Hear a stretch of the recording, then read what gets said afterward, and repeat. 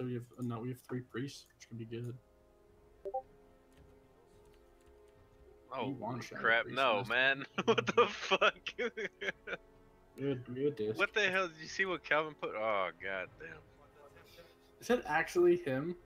I don't. It can't be him, you. man. I don't believe you. That makes sense. Yeah, that. Let's say that bottom picture just doesn't match his voice. That's like a potato.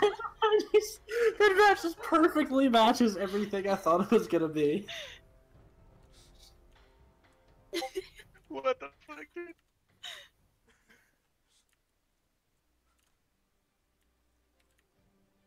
Fucking die, man.